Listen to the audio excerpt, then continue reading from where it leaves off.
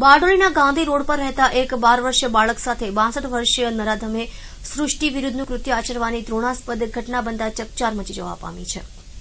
બારડોલીના Gandhi road પર રહેતા બાસઠ વર્ષીય વૃદ્ધ એવા અજય શાહે નજીકમાં જ રહેતા બાર વર્ષીય બાળક સાથે બળજબરી દુષ્કર્મ આચરતા પોલીસ મથકે મામલો પહોંચ્યો હતો. આ અંગે પોલીસે હવસખોર એવા વૃદ્ધ અજય શાહ સામે પોસ્કો એક્ટ મુજબનો ગુનો દાખલ કરવાની તજવીજ હાથ ધરી છે.